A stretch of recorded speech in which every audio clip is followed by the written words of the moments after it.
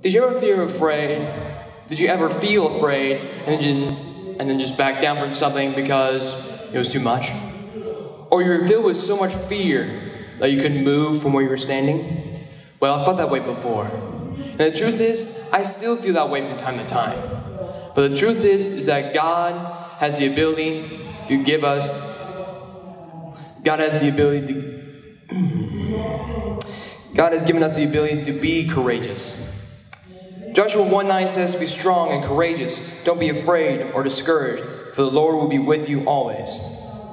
So, what is courage exactly? Well, I asked Jesus to tell me what courage is. And Jesus showed me that true courage is not the absence of fear, it's doing what's right in the presence of fear. If we look at that in the light of Joshua 1 9, the key to courage becomes clear. For the Lord will be with you always.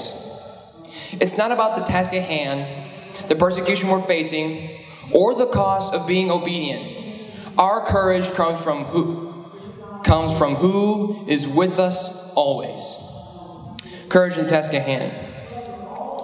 Gideon was in a dire situation where the Midianites had basically destroyed everything that he and the Israelites had. Gideon was scared when God told him what he must do. He asked, How can I rescue Israel? My clan is the weakest of the clans in Manasseh, and I'm the least in my family. But the Lord said to him, I will be with you. You can find that passage in Judges 6 15 through 16.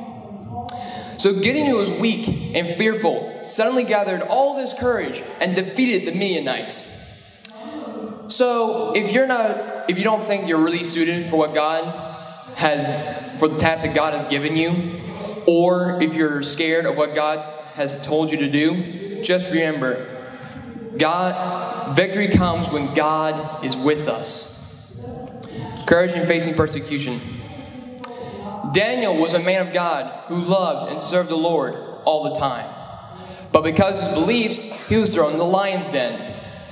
I bet he was scared. And I can imagine he needed a new change of underwear. Hey, I know I would. But the Lord was faithful to Daniel and saved his life. Daniel 6:21 says, "My God sent his angel to shut the lions' mouths so that they would not hurt me." Even in the face of hungry lions, God was there, and Daniel never had to worry about being safe. Courage in being obedient. Being obedient is sometimes hard, even when it doesn't put us in danger. Jesus is the perfect example of being obedient to God, even though it cost him his life. Mark 14 36 says, Abba, Father, everything is possible for you. Please take this cup of suffering from me, yet I want your will to be done, not mine. So even though Jesus was afraid, he was still willing to obey because God was with him through more than just one time of obeying. Matthew 3:16 says, "After his baptism, as Jesus came out of the water, the heavens were opened, and he saw the Spirit of God descending like a dove and settling on him." The Spirit of God was with him wherever he went and through everything, especially when Jesus decided to go to the cross.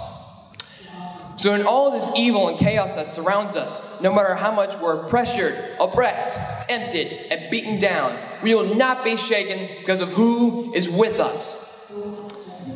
A year and a half ago, my sister Audra had cancer. And it was a trial that shook my, me and my entire family. And I was scared for her. But I knew that God was watching over me meaning that He's even looking after us in the future. Deuteronomy 31 6 says, Do not be afraid and not to panic, because God is personally going ahead of our paths. So, with that in mind, let us be bold and courageous. And if God is with us, then what can stand against us? Well, I only got one word for you. Nothing. N O T H I N G. Nothing can stand against us. Love you guys. Thank you for your time.